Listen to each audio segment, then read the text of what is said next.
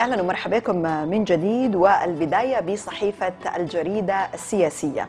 في أبرز العناوين وزارة الإرشاد وفاة 20 حاجا وآخر فوج يصل غدا تقبلهم الله بواسع رحمته. فيها أيضا اعتماد عضوية السودان في تنفيذ منظمة السياحة العالمية.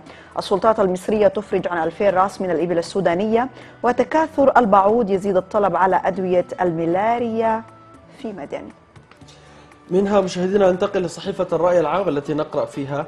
نائب وزير الخارجية الأمريكي لغندور نتطلع لمرحلة ما بعد رفع العقوبات. الوساطة للشعبية التفاوض سيبدأ من حيث انتهت الجولات ولا رجوع للخلف. أيضا في الرأي العام البشير يفتتح قريبا منشآت الجنينة عاصمة الثقافة السودانية. في صحيفة اليوم التالي حرية الرأي قدسية الخبر. وفد من الكونغرس يستبق رفع العقوبات بزيارة للخرطوم.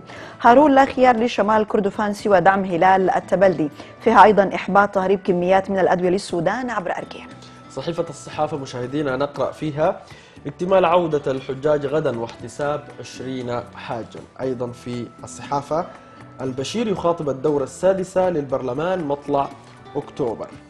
الرئيس يزور الولاية الأسبوع الجاري جمع 2000 قطعة سلاح في جنوب دارفور. الحكومة تؤكد دعمها للقطاع الخاص هذا أيضا في الصحافة. في صحيفة الوفاق إلزام المواقع والصحف الإلكترونية بتصديق من مجلس الصحافة.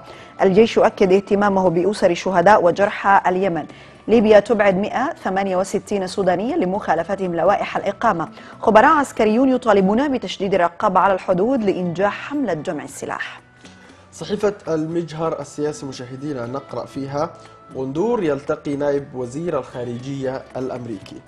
أيضا في فاتحة انطلاق دورتها السادسة البشير يستعرض السياسات الكلية للدولة أمام الهيئة التشريعية أكتوبر المقبل. كانت هذه صحافة الخرطوم السياسية اللي صدرت صبيحة هذا اليوم تبقى تفاصيل مشاهدينا. دائما تابعوها اتوا بأنفسكم من خلال الاطلاع مباشرة على الصحافة في المكتبات السودانية المختلفة. نعم.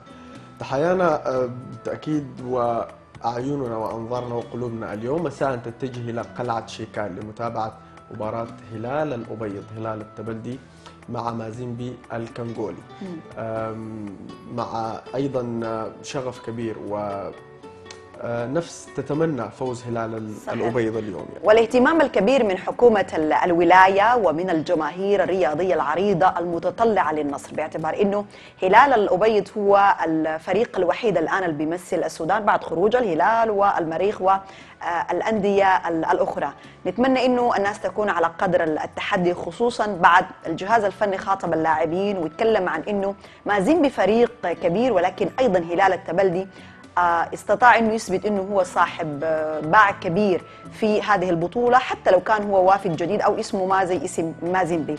نتمنى التوفيق لهلال السودان هلال الشيكان.